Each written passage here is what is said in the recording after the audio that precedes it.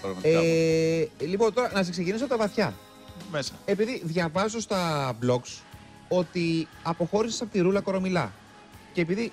Θα το πω έτσι όπως το διάβασα. Ναι, και επειδή ναι, ρε παιδί ναι, μου ναι. ξέρω ότι Ναι. είχε, γίνει, είχε γραφτεί πολλή μελάνη για αυτό το μεγάλο σόου που πάει εξαιρετικά καλά για τα δεδομένα του ε.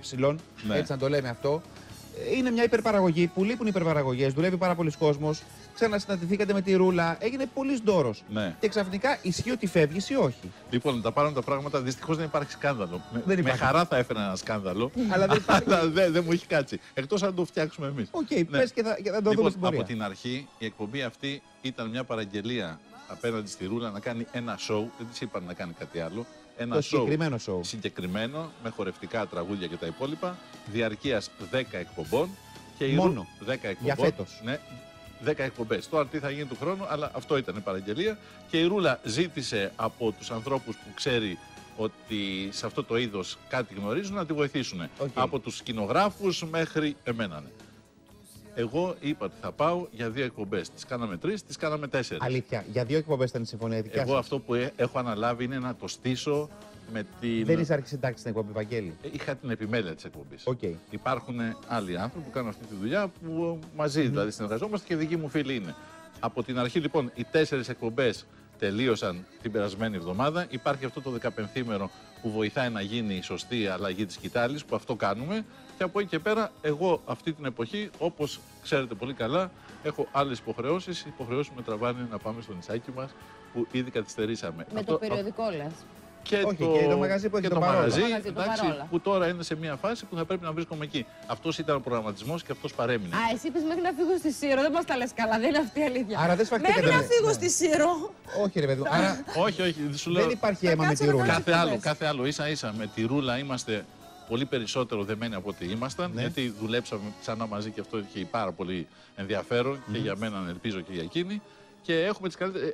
Δηλαδή, ακόμα και οι εκκρεμότητες που έχω αφήσει, τους είπα ότι οτιδήποτε παρουσιαστεί ανάγκη θα είμαι εκεί να βοηθήσω. Άρα εσύ πληρώθηκες για να κάνεις αυτό το κομμάτι. Δηλαδή, ρε παιδί μου, χτες να είμαστε στήσεις; μαζί. Δηλαδή, χτες είμαστε Με τη μαζί ρούλα. με τη ρούλα. Με τη ρούλα. Στο αστυνομικό τμήμα.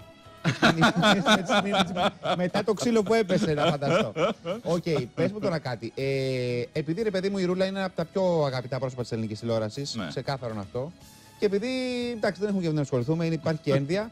και εντάξει, ασχολεί- ασχολείται όλος ο κόσμος με τη Ρούλα. Ναι. Έχουν ακουστεί πολλά καλά. Ναι. Μην τα πάμε γιατί πάντα το κακό πουλάει και έχουν ακουστεί και αρκετά κακά. Γιατί Ναι. η Ρούλα γύρισε Ναι. και μεγάλωσε, γέρασε, κάνει το ίδιο πράγμα γιατί να βάλει τον ίδιο τίτλο και τα είχαμε Ναι. δει στο παρελθόν κτλ. κτλ. Πώς το ακούς εσύ, Καλά, άμα επειδή, θες εσύ, να πεις, εσύ, επειδή ναι. εσύ να κάνεις πεις- και κριτική τηλεόραση Αν εκτός θες, βρίσκεις από να το να πεις παράξεις 10.000 τηλεόραση. Ναι. πράγματα. Πώς το ακούς όλα αυτά, ας Κοίταξε, πούμε; πιστεύω ότι είναι μια εκπομπή που την ξέραμε, όντως είναι μια εκπομπή που την ξέραμε. Αυτή είναι η τυπολογία της εκπομπής. Δηλαδή είναι σαν να λες ότι κάνανε μια σαπουνόπερα και πάλι έχει έρωτες και ίντριγκες και απαγωγές. Γιατί Αυτά και θα το βάλει. πρωινό, συγγνώμη, τι άλλο θα μπορούσε να κάνει. Το κάτι. πρωινό είναι ίδιο τόσα χρόνια από όλους τους παρουσιαστές. Ναι, μα έτσι δεν Έτσι είναι. είναι. Δηλαδή είναι πολύ συγκεκριμένη τυπολογία.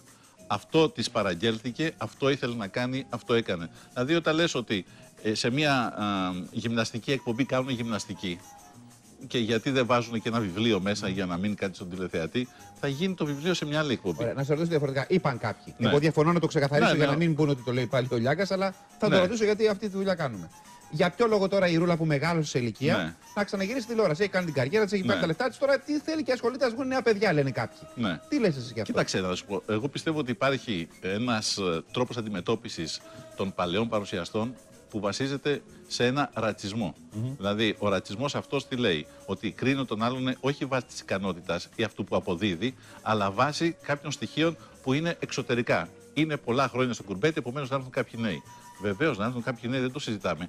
Αν και εγώ σε αντίθεση με σένα δεν έχω δει αυτά τα κοριτσάκια των 20 ετών που είναι πολύ καλά και τα λένε πολύ καλύτερα. Ούτε εγώ τα έχω δει. Τα έχω ψάξει, τα έχεις πει. Τα έχεις πει ότι υπάρχουν. Δεν τα έχω δει. Δεν, ε, τα έχω αναζητήσει μάλιστα και μ, δεν έχουν βρεθεί. Πολλοί κόσμος έχει περάσει, αλλά πέρασε και δεν άγγιξε.